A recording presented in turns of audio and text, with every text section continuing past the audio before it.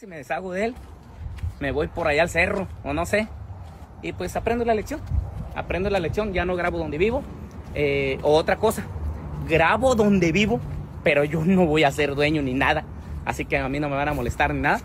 Este, voy a decirle a alguien que compre las casas o no sé, que pongan a nombre de otras personas. O yo, yo no voy a tener casa, ni rancho, ni nada. Mejor. O otra cosa, busco opciones. Busco opciones y la neta, la neta, hablando bien, tía Karen, no me la vas a creer. Pero yo me quiero ir a Argentina, a vivir por allá, a París, neta. Algo bien loco, algo bien raro, pero yo quiero, quiero irme por allá. Neta, deja, vas a ver que me pegue la loquera, me voy a ir lejos para que nadie me moleste. Allá me voy a ir a grabar mi contenido, allá me voy a ir a hacer y ya de repente me doy una vueltita para acá. Te lo juro. Que ya no vas a tocar música, ya no toco. Pero si de ahí te bajaron a tamborazos, cabrón del cerro.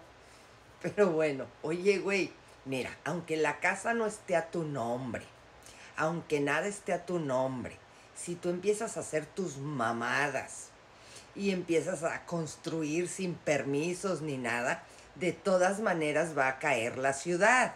Y de todas maneras te van a hacer que quites las cosas que estás haciendo sin permiso.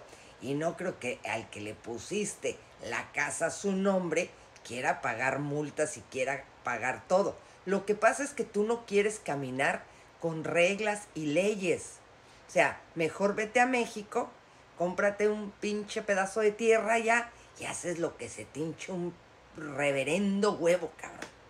Pero allá, porque aquí hay reglas y si a ti no te gusta seguirlas, pues te chingas, cabrón.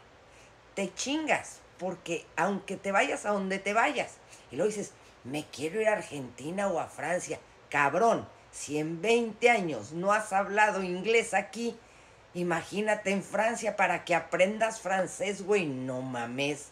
No mames, deja de hacerte chaquetas mentales, cabrón, estás bien pendejo. La neta que estás bien idiota.